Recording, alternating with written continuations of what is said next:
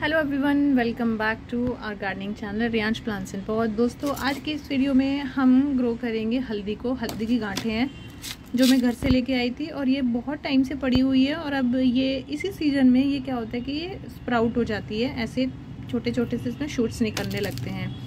तो अब से पहले मैंने कभी गमलों में हल्दी ग्रो नहीं की, हालाँकि मुझे अच्छे से याद है कि पहले हमारा, एक आम का अच्छा खासा बाग हुआ करता था, उसमें नीचे ज़मीन में सारे में हल्दी ग्रो की जाती थी।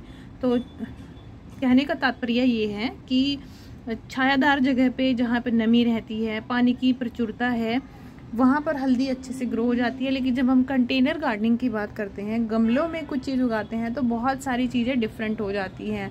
अब खेतों की तरह हम यहाँ पे बाग तो आम का बाग तो क्रिएट नहीं कर सकते हैं और ना ही वो क्लाइमेट ना ही वो वेदर ला सकते हैं जो आम के बागों में होता है। आम के बागों की ज़मीन या किसी भी अमरूद या कोई भी बाग होते हैं, उनकी ज़मीन बहुत अच्छी भुरभुरी हो जाती है क्योंकि उस छायादार जगह में अर्थवॉर्म्स बहुत होते हैं और वो उस मिट्टी को नाइट्रोजन से इतना भर देते हैं कि कोई भी छायादार पेड़ वहाँ पे बहुत अच्छे से ग्रो होता है। तो अब ये हल्दी उगानी है मुझे गमलों में, कुछ ग्रो बैग्स में और जो भी मेरे पास मिट्टी है उसमें ग्रो करके देखेंगे। पहला एक्सपीरियंस है तो कुछ बात, जो मुझे जानकारी है इसके बारे में, वो मैं आपको बता देती हूँ। तो हल्दी क्या है कि ये शुद्ध ऑर्गेनिक हल्दी है। सबसे पहली बात तो कि शुद्ध ऑर्गेनिक हल्दी है, इसमें कोई केमिकल कुछ भी कोई मिलावट नहीं है तो क्योंकि सीधा हमारे खेतों से आई है।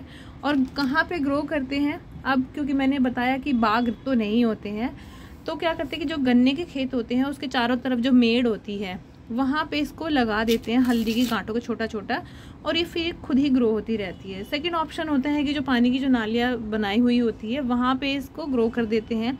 तो पानी देने का झंझट भी ख़त्म होता है और जब इसकी हार्वेस्टिंग करते हैं तो छोटा छोटा सा ट्यूबर ज़मीन में छोड़ दिया जाता है।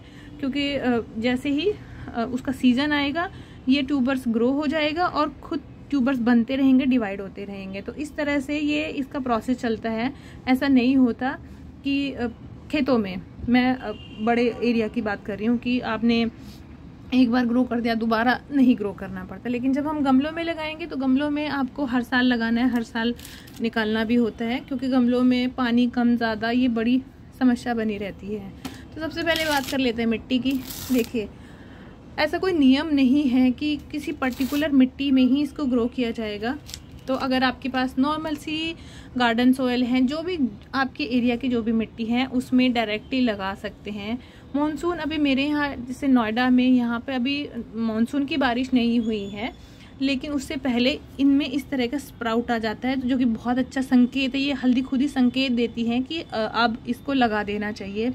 तो गमलों में लगा दीजिए और उसके बाद इसमें अच्छा खासा पानी आप दे दीजिए।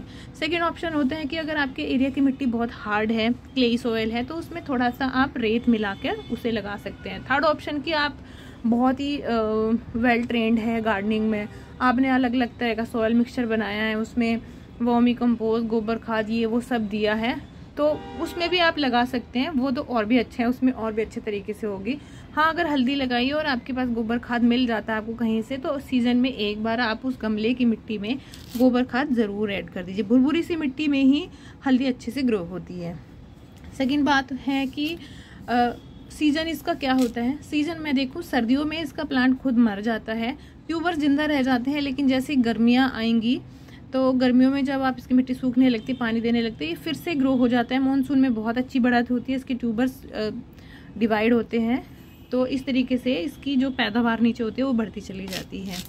और रखना कहाँ पर है? बहुत ज़्यादा तेज़ धूप में नहीं रखना है। आप जैसे चिलचिलाती गर्मी है तो ऐसा नहीं है कि आपका हल्दी का पौधा ग्रो हो गया तो आप इसको लू में छोड़ देंगे, उसमें तो बिल्कुल ही मर जाएगा। ठीक है? और मैं क्योंकि ऑलरेडी बता चुकी हूँ कि ये जो ट्यूबर से स्प्राउट हो गया ये क्योंकि किचन में अंदर रखे हुए थे। बाहर रखे होते तो अब तक ये पूरी सूख जाती। है इनके अंदर पानी जैसा होता है मतलब ये बहुत सॉफ्ट होती है अंदर से कच्ची, हल्दी। दैट मीन्स कि पानी भी इसको अधिक चाहिए और ये काम भी तभी करती है। मतलब कच्ची, हल्दी होने का फ़ायदा भी तभी है जब ये अंदर से नरम हो मुलायम हो। और कहीं भी आप इसको हल्दी का यूज़ क्या है, कच्ची हल्दी का यूज़ क्या है, वो तो आप सभी को पता है कि कहीं कट जाए तो लगा सकते हैं जल जाए तो लगा सकते हैं, कोई घाव हो गया तो लगा सकते हैं। एंटीसेप्टिक एंटीबायोटिक खांसी जुकाम हो गया, उसमें आप इसको थोड़ा सा काट के, रगड़ के पानी में उबाल के पी लीजिए, दूध में उबाल के पी सकते हैं लंग इन्फेक्शन को दूर करती है। और भी ना जाने कितनी सारे उबटन फेस क्रीम फेस पैक बहुत सारी चीज़ों में ये यूज़ होती है। तो अभी मैं इसको लगा के तो क्या दिखाऊँगी? इसमें बस एक ऐसा गड्ढा कर लेते हैं और इसमें थोड़ा सा और काफ़ी अंदर इसको दबा देंगे, ऐसे ऐसे करके थोड़ा और अंदर गहराई में और बस पानी दे देना है। तो यही इसका प्रोसेस होता है।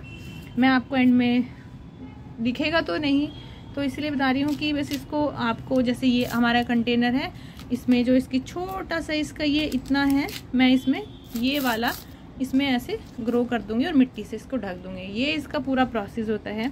आई होप कि हल्दी को कैसे ग्रो करते हैं, जिनको नहीं पता था तो वो जान गए हैं।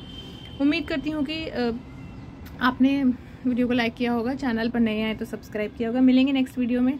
तब तक के लिए खुश रहिए। Happy gardening go green friends